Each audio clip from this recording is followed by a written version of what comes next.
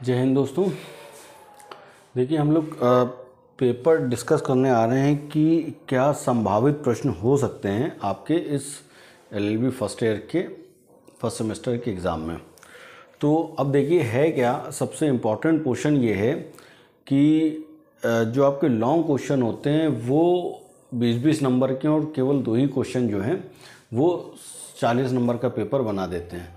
तो आ, हमें जो लगता है कि अगर लॉन्ग क्वेश्चन कवर हो जाएँगे तो शॉर्ट क्वेश्चन अपने आप ही कवर हो जाते हैं। और आ, दूसरी चीज़ ये है कि हमने प्रायोरिटी के बेस पे पहले क्वेश्चन तैयार कर लिए हैं कि आप पहले इनको पढ़ लीजिएगा। लॉन्ग क्वेश्चन अगर आपके तैयार हो जाएँगे तो शॉर्ट क्वेश्चन हम तैयार कर देंगे। मुश्किल से पाँच पाँच मिनट के वीडियो बनेंगे। और ये जो भी क्वेश्चन है सब तैयार हो जाएँगे। पाँच पाँच मिनट से ज़्यादा टाइम नहीं लेगा। तो लॉन्ग क्वेश्चन लेकिन जो है वो थोड़ा सा डिफ दिक्कत करता है और वही इंपॉर्टेंट भी होता है। तो मेरे हिसाब से सबसे पहला जो आपका लॉन्ग क्वेश्चन इस बार हो सकता है, वो ये है कि जो आपका स्ट्रक्चर है कॉन्स्टिट्यूशन में फेडरल स्ट्रक्चर है या यूनिटरी स्ट्रक्चर है तो हमने इस पर तो वीडियो बना दिया है। ठीक है? दूसरा क्वेश्चन हमारे हिसाब से फॉर्म ऑफ़ गवर्नमेंट भी हो सकता है, क्योंकि पीछे के एग्ज़ाम में ये नहीं पूछे गए हैं।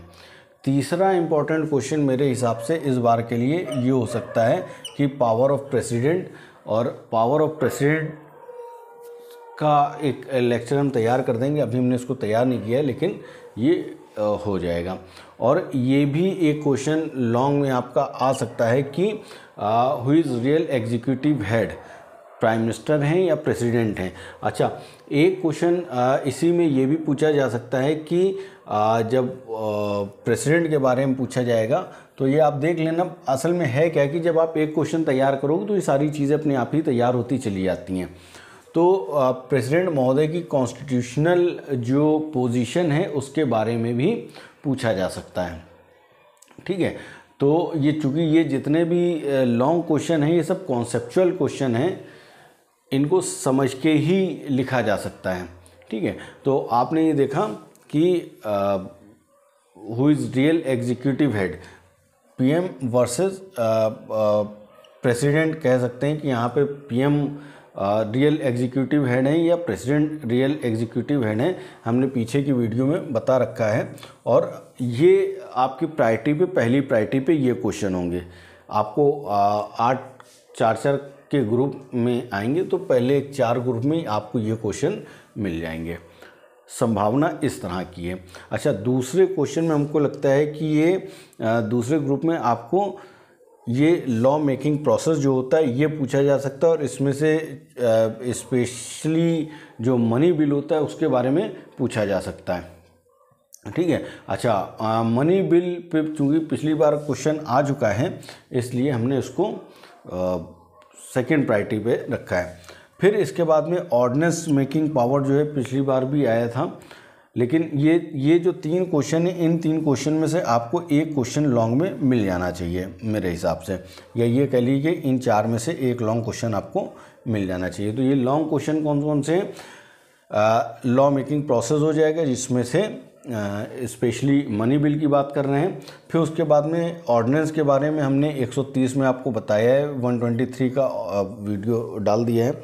लॉ मेकिंग प्रोसेस हमने आपको बताया हुआ है कि 107 से रिलेटेड है और 108 में जॉइंट मीटिंग होती है और उसके बाद में मनी बिल के बारे में 110 में बताया गया है। प्रोसेस इसका कैसे है 109 में बताया है। तो ये आप देखेंगे, समझ में आ जाएगा। देखिए, सारा फोकस लॉन्ग क्वेश्चन पे शॉर्ट क्वेश्चन तो आप दस लाइनों में कुछ भी लिख देंगे और पाँच पाँच मिनट से ज़्यादा वीडियो नहीं बनेंगे। तो उसमें आपका बहुत ज़्यादा टाइम भी नहीं लगेगा। इमरजेंसी प्रोविज़न हमेशा से इंपॉर्टेंट है, हमेशा से फेवरेट टॉपिक रहा है। 352 हमने बताया है और इससे एक रिलेटेड क्वेश्चन एक और भी बन सकता है कि इमरजेंसी के फंडामेंटल राइट पर क्या प्रभाव होते हैं। वैसे ये अगर पूछेंगे तो ये शॉर्ट में पूछेंगे। छः नंबर वाले क्वेश्चन में, ठीक है? और फिर प्रेसिडेंट रूल 356 में लिखा हुआ है 356 में प्रेसिडेंट रूल के बारे में बताया, जिसको राष्ट्रपति शासन कहते हैं, ये आपको वहाँ से ये भी मिल जाएगा। तो ये जो प्रायरिटी पे क्वेश्चन है फॉर्म ऑफ़ गवर्नमेंट हो गया फेडरल स्ट्रक्चर हो गया पावर ऑफ़ प्रेसिडेंट हो गई, और कॉन्स्टिट्यूशनल उसकी प्रेसिडेंट महोदय की क्या स्थिति होती है, उसके बारे में बताया गया है।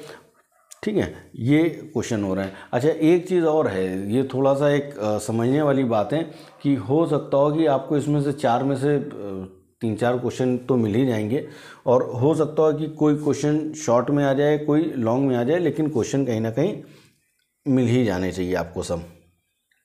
कैरेक्टरिस्टिक्स पिछली बार क्वेश्चन पूछा गया है तो हो सकता हो अगर इस बार पूछेंगे तो ये शॉर्ट में पूछा जा सकता है। ठीक है? और ये डिस्ट्रीब्यूशन लेजिस्लेटिव पावर से मतलब नहीं है। अच्छा शॉर्ट में आप देख लेंगे तो ये लॉन्ग क्वेश्चन आपको तैयार करने हैं। पहला फेडरल स्ट्रक्चर पे सबसे इम्पोर्टेंट क्वेश्चन हो जाएगा, दूसरा पावर ऑफ़ प्रेसिडेंट पे हो जाएगा, तीसरा प्रेसिडेंट जो है रियल हेड हैं या नॉमिनल हैं, ये हो जाएगा। फिर लॉ मेकिंग प्रोसेस पे धन विधेयक पे बात हो जाएगी ऑर्डिनेंस पे बात हो जाएगी, इमरजेंसी हो जाएगी, प्रेसिडेंट रूल हो जाएगा। ठीक है? और फिर इसके बाद में प्रेसिडेंट की जो एलिजिबिलिटी वाली बातें हैं वो, उनकी कॉन्स्टिट्यूशनल पोजीशन, ये क्वेश्चन हो जाएगा, ये क्वेश्चन ढूंढ के आप कर लीजिएगा। और फॉर्म ऑफ़ गवर्नमेंट में शॉर्ट या लॉन्ग कहीं ना कहीं आपको मिल ही जाएगा। ये पूछा गया तो हो सकता है शॉर्ट में आ जाए। फिर इसके बाद में शॉर्ट में ये पाँच पाँच मिनट के हम वीडियो सब बना देंगे कोई बहुत बड़ी बात नहीं है। आ, सबसे पहले वाइस प्रेसिडेंट पूछा जा सकता है क्योंकि हम बता चुके हैं कि वाइस प्रेसिडेंट जो होते हैं वो ही चेयरमैन होते हैं राज्यसभा के। तो ये शॉर्ट के लिए क्वेश्चन बनता है। हाउस ऑफ़ पीपल भी हम बता चुके हैं हमारा वीडियो पढ़ा उसमें देख लीजिए कि शॉर्ट क्वेश्चन में हाउस ऑफ़ पीपल पूछ लिया जाएगा आर्टिकल 81 में इससे रिलेटेड प्रोविज़न है। फिर काउंसिल ऑफ़ स्टेट के बारे में आर्टिकल 80 में बताया गया है। वो एक क्वेश्चन पार्लियामेंट वाला है।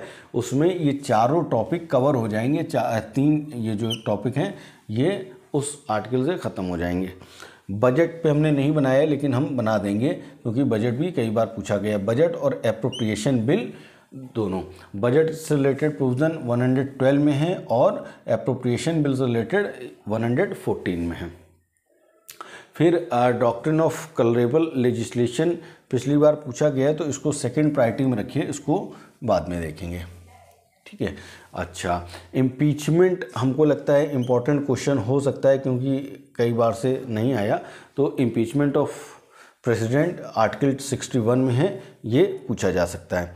फिर ये जो क्षमादान की शक्तियाँ होती हैं pardon of pardon power of president ये भी पूछी जा सकती हैं।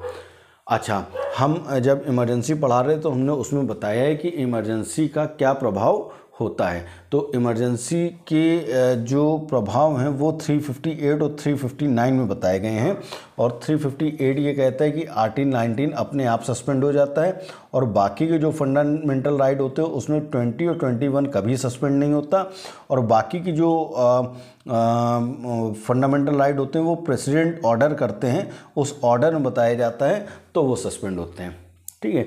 ये कलेक्टिव रिस्पॉन्सिबिलिटी का भी क्वेश्चन बन सकता है। काउंसिल ऑफ़ मिनिस्टर्स के बारे में पूछा जा सकता है।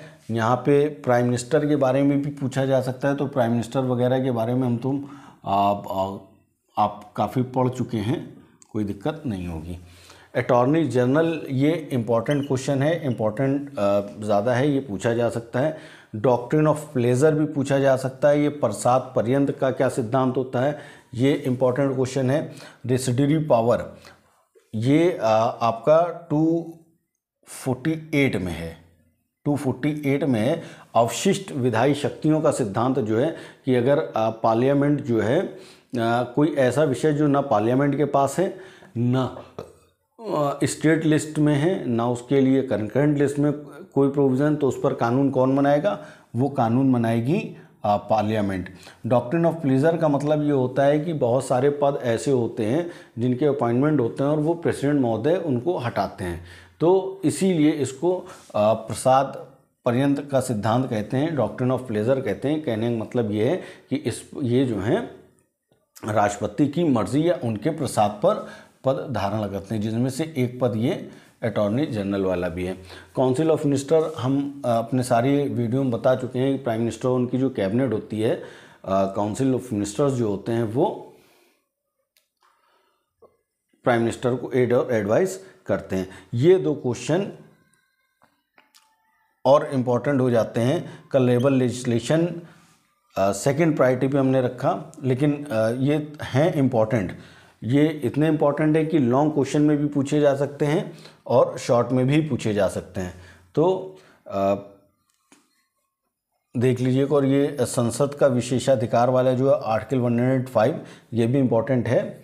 और प्रियम्बिल पढ़ लीजिएगा टाइम बचे। कोई बहुत नहीं है लेकिन ये है कि ये छोटे छोटे क्वेश्चन तो आसानी से पढ़ने में आ ही जाते हैं। केवल जो दिक्कत होती है वो लॉन्ग क्वेश्चन में होती है। अगर लॉन्ग क्वेश्चन आपको समझ में आता है तो शॉर्ट बहुत सारे शॉर्ट क्वेश्चन जो होते हैं, इन लॉन्ग क्वेश्चन से ही निकल आते हैं। तो हम कोशिश ये करेंगे कि सारे शॉर्ट क्वेश्चन जो हैं हमको लगता है पाँच पाँच मिनट की वीडियो बना के उसको कंप्लीट कर देंगे। अब देखिएगा लॉन्ग क्वेश्चन जो हमने बना दिए हैं तो इसी में से आ जाने चाहिए। ऊपर वाले से ऐसे ही उम्मीद करते हैं कि बढ़िया सा पेपर आपका हो जाएगा।